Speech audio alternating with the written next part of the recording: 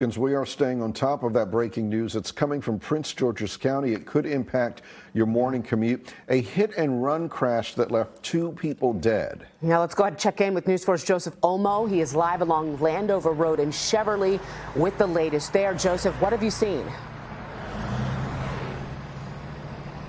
I, am seeing, Jimmy, a really, really bad crash here along Landover Road. I'm going to direct your attention over to the right here where you can see uh, investigators are still working on putting the pieces together to figure out what exactly happened here. What we can tell you is this. At about 2.35 this morning, officers responded here. This is Landover Road and 63rd Place here in Cheverly.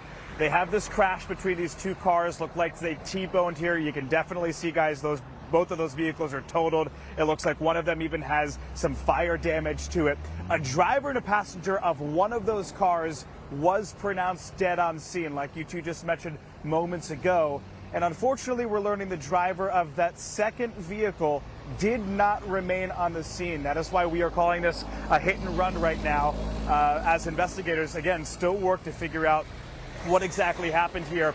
You know, guys, this is a kind of this a busy road, but it runs through a neighborhood. There's a couple of houses that have a direct sight to this crash here, so it'll be interesting to see if you know any of the neighbors here have any home surveillance video or any ring doorstep video uh, showing exactly what happened. But for right now, what we can tell you is that this is a hit and run.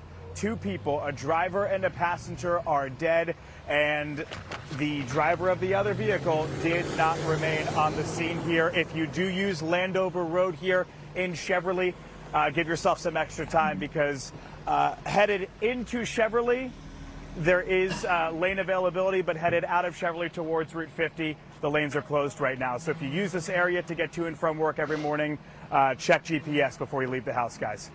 All right, Joseph Olmo reporting from Prince George's County. Thank you, Joseph. All right, let's go ahead here at 6 o'clock and see the workarounds and other traffic issues. Let's check in with WTOP's Rita Kessler. Good morning. Good morning, Jimmy. As you saw from Joseph's report, southbound 202 Landover Road remains closed at 63rd Place for that ongoing police and crash investigation. Expect to be under police direction, but the northbound lanes are open and moving for now.